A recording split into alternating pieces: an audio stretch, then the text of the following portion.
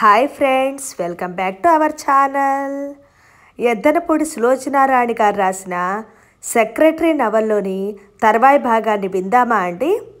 ఇక కథలోకి వెళ్దామా? ఆపరేషన్ పూర్తయింది. డాక్టర్లు పర్వాలేదని చెప్పారు. ముందు అతనే జయంతిని చూసొచ్చాడు. బామ్మగారు చూసొచ్చింది.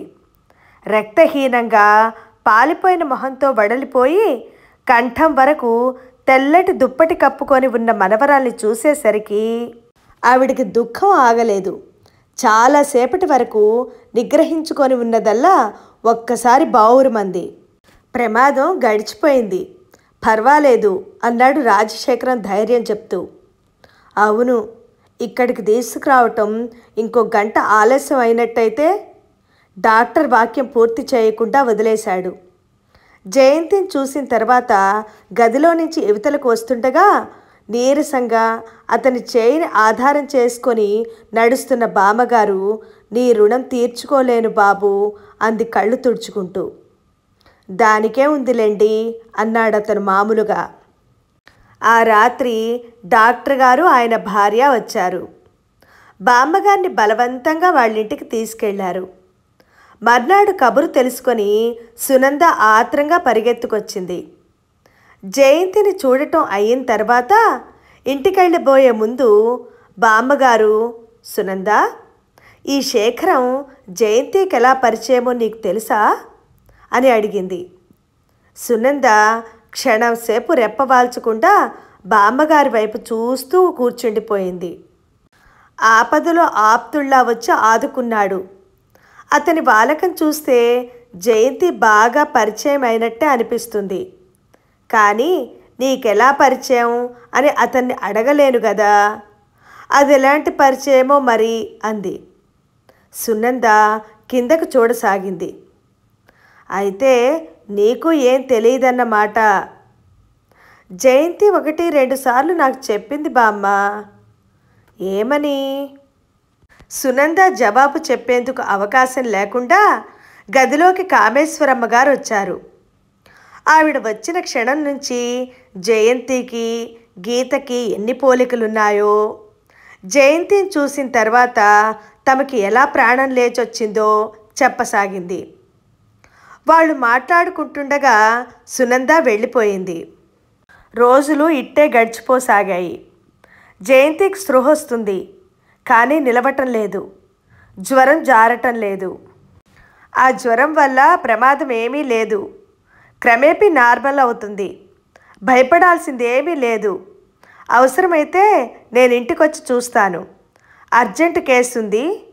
బెడ్ ఖాళీ లేవు. ఇంటికి తీసుకెళ్ళండి అన్నాడు డాక్టరు. మా ఇంటికి తీసుకెళ్దాం అంది కామేశ్వరమ్మ గారు.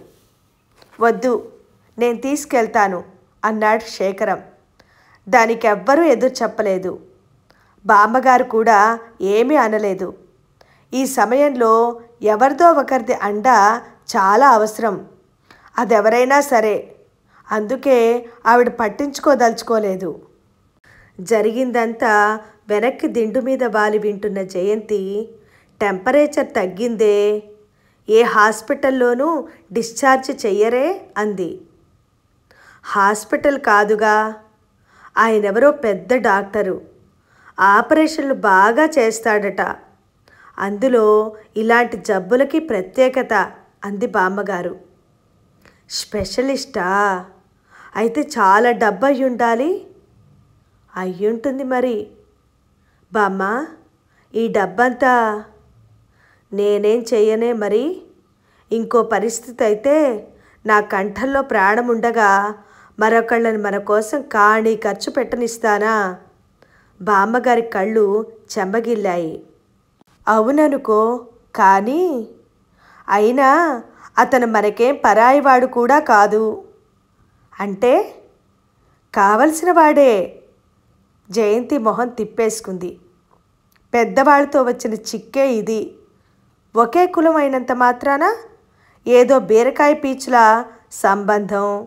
చుట్టరికం కలవక మానవు అందుకని అసలు తన్ను అడిగితే ఈ ప్రపంచంలో రెండే రెండు కులాలు ఉన్నవాళ్ళు లేనివాళ్ళు. రెండే రెండు మతాలు ఆస్తికులు నాస్తికులు. రెండే రెండు రకాలు శాకాహారులు మాంసాహారులు అని ఠకీమని చెప్తుంది.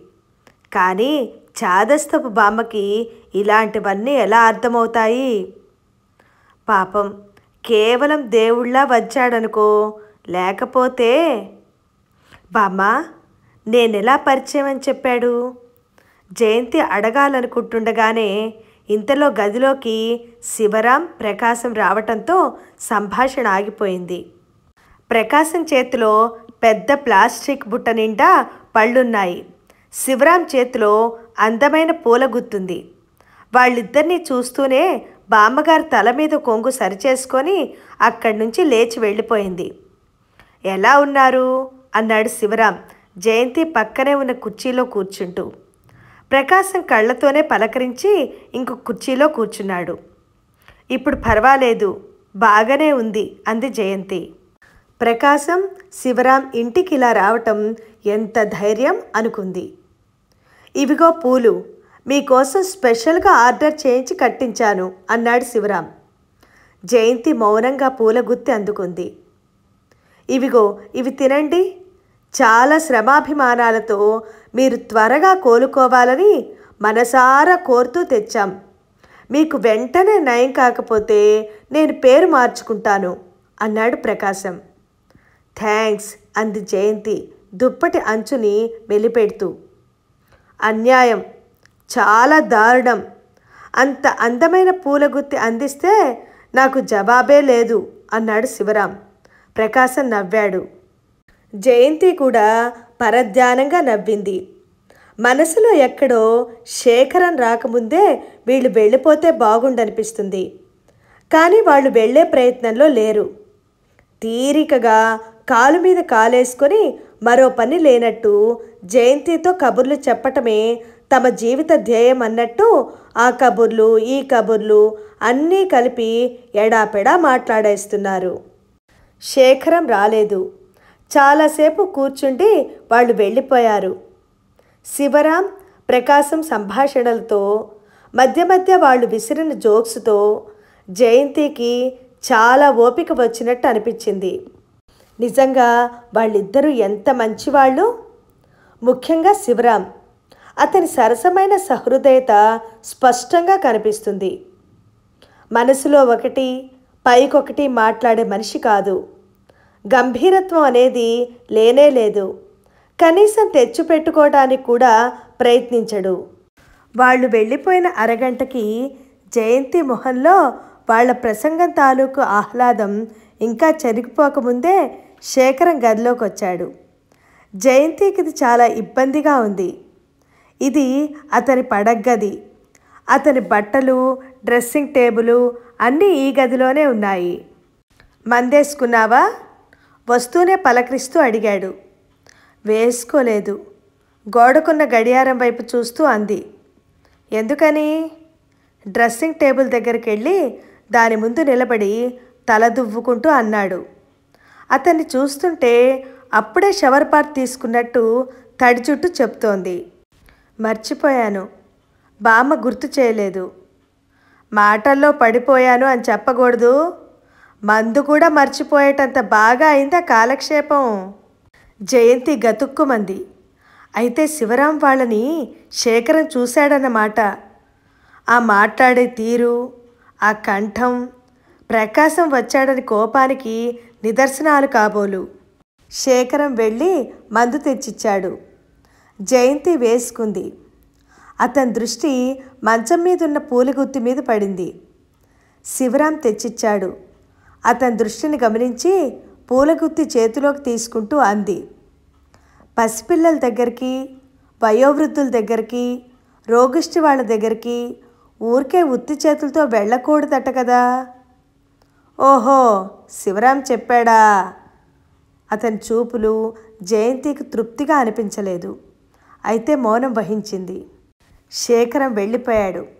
జయంతికి అతని ప్రవర్తన మాటలు చాలా కొత్తగా కనిపిస్తున్నాయి. ముందే గదిలో నుంచి తను మారాలి. తర్వాత సాధ్యమైనంత త్వరలో ఇంటికి వెళ్ళిపోవాలి.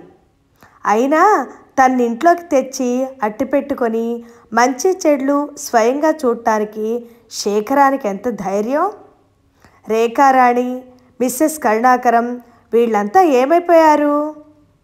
వాళ్ళ సంగతి గుర్తుకు రాగానే శేఖరం పట్ల కృతజ్ఞతాపూర్వకంగా ఏర్పడుతున్న ఊహలన్నీ చెల్లా చెదిరైపోయినాయి.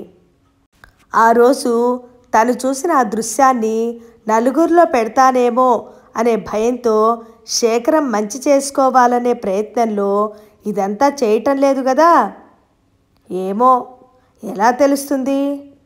దీనికి తోడు పిచ్చి బామ్మ ఒకటి బామ్మని మోసం చేయటం ఎంత తేలిక?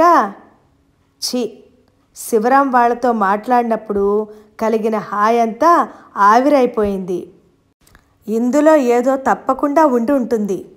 లేకపోతే రేఖారాణి లాంటి వాళ్ళు కళ్ళు రెండు పెట్టుకొని చూస్తూ ఊరుకుంటారా? ఇదంతా తప్పకుండా వాళ్ళకి తెలిసే ఉండి ఉంటుంది. శేఖరం వాళ్ళతో ఆలోచించే ఇదంతా చేస్తున్నాడేమో. శివరాం ఇచ్చిన పూలగుత్తి రెండు చేతులతో పట్టుకొని దానివైపు చూస్తున్న జయంతి ఆలోచిస్తూ అలాగే నిద్రపోయింది. చాలాసేపు అయిన తర్వాత ఎప్పటికో మంచి నిద్రలో ఉండగా ఎవరో బలవంతంగా కదపటంతో మెళుకు వచ్చింది. లే మందు వేసుకొని పడుకో శేఖరం పిలుస్తున్నాడు. వద్దు నిద్ర వస్తుంది మత్తుగా అంది జయంతి. ఒక్క క్షణం అదిగో మళ్ళీ కళ్ళు మూస్తున్నావు. శేఖరం మంచం మీద కూర్చొని జయంతిని లేవతీసి బలవంతంగా మందు మింగించాడు చేదు మాత్రం రుచి నాలుకకు తెలియటంతో పూర్తిగా మెళుకు వచ్చింది. జయంతితో నీళ్ళు తాగించిన శేఖరం గ్లాస్ పక్కన పెట్టేసి జయంతి వైపు చూస్తూ బాగా మెళుకు వచ్చిందా? అన్నాడు. అయితే విను. నీకు కావాలంటే హైదరాబాదులో ఉన్న పూలన్నీ తెప్పించి ఈ గదంతా అలంకరించేలా చేస్తాను. నీ పక్కన కూడా నింపుతాను. కానీ నువ్విలా ఆ వెధవ పూల గుత్తిని గట్టిగా పట్టుకొని అదే ప్రాణంలా దాన్ని పట్టుకొని నిద్రపోవటం నేను సహించలేను. నీకు పూలు ఇష్టమైతే నాకెందుకు చెప్పవు? అంటూ జయంతి చేతుల్లో పూల గుత్తిని లాగి గదిలో మూలకు విసిరేశాడు. జయంతి రెప్పవాల్చకుండా అతని వైపే చూడసాగింది. నేను చెప్పింది వినిపించిందా? దీన్ని నువ్వు ఈర్ష అనుకో ఇంకేమైనా అనుకో అంటూ వెనక్కు వాల్చి పడుకోబెట్టాడు. అతని ముఖంలో కనిపించిన భావం అర్థం కాకపోయినా అతనన్న చివరి మాటకి జయంతి మనసు ఎక్కడో ఆనందంతో తడుక్కుమంది. ఆప్యాయతతో కూడిన అధికారంలో అంత మధురిమ ఉంటుంది కాబోలు. జయంతి కళ్ళు తెరిచి చూస్తుండగానే అతను లైట్ తీసేశాడు.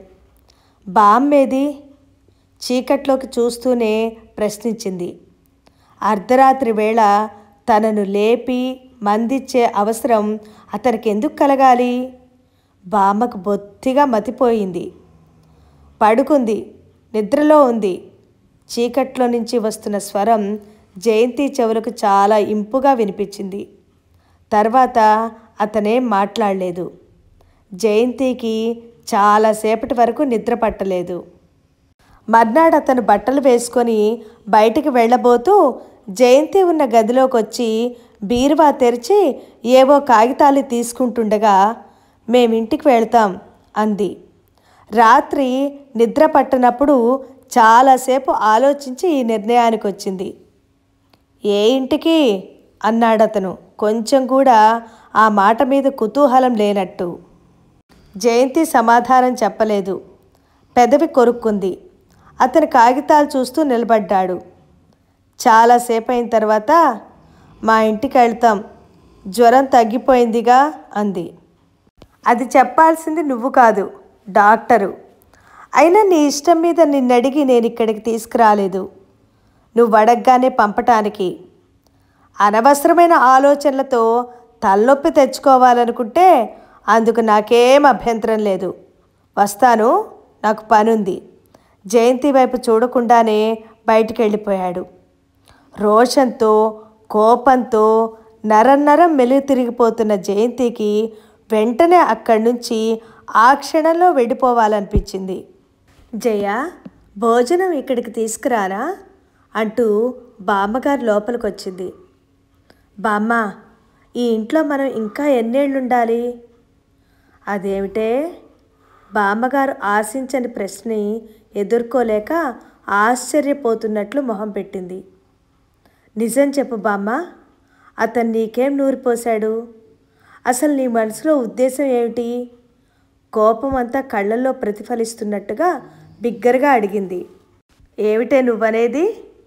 అతనంత సాయం చేస్తే అందుకని అసహించుకుని వెళ్ళగొట్టే వరకు ఇక్కడే ఉందామా అందరూ ఏమనుకుంటారు? అది అతనికి తెలియదంటావా? ఎందుకు తెలీదు? అదే నిన్ను అర్థం చేసుకోమంటున్నాను బామ్మ. నిజం చెప్తున్నాను. ఒక్క క్షణం కూడా నేను ఇంట్లో ఉండదలుచుకోలేదు. నువ్వు రాకపోతే ఉండు. నేను వెళ్ళిపోతాను. బాగుందే తల్లి. కాస్త ఓపికొస్తుందిలా ఉంది. కస్సుబుస్సుమంటున్నావు ఇంటికి వెళ్ళినా ఎవళ్ళనో ఒకళ్ళని అండ కోసం యాచించాల్సిందేగా అంది నిష్ఠూరంగా. అందుకని? అందుకని? వద్దు బామ్మ వద్దు. నీకేం తెలీదు. మనం వెళ్ళిపోదాం. నా మాట విను. నన్ను నాకు ఇక్కడేం బాగలేదు. జయంతి ఏడవటం మొదలుపెట్టింది.